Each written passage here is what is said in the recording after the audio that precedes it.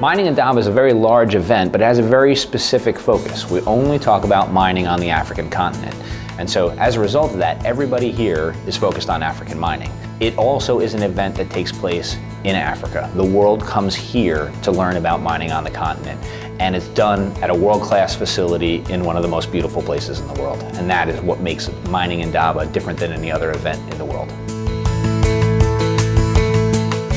Well, it's a great conference. We are a company which has a very strong footprint in Africa, and that's the premier venue for um, meeting anybody in mining in Africa. So we come here every year, and that's very valuable.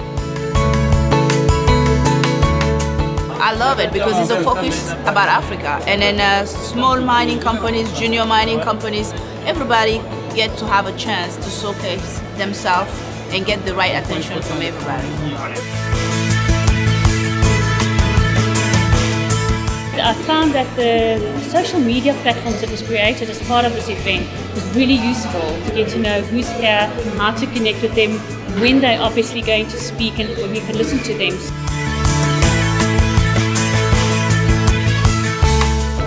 It's always a good opportunity to come and uh, network and learn from other people's experience.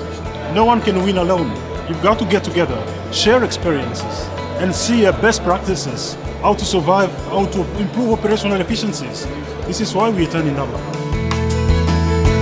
The Mining Indaba is an extremely valuable conference and it's really an opportunity to connect with people from around the world who are doing business in Africa.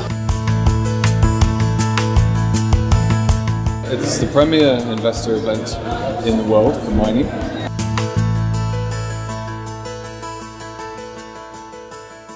The essence of Mining in Indaba is about getting Africans and international business people together to get mining projects done.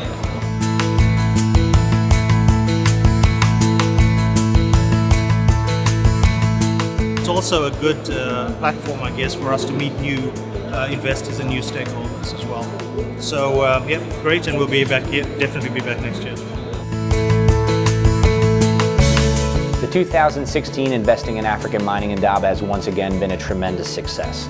But that success can't happen without your participation. And we'd like to thank you once again for your continued support of this wonderful event. We look forward to seeing you again in 2017.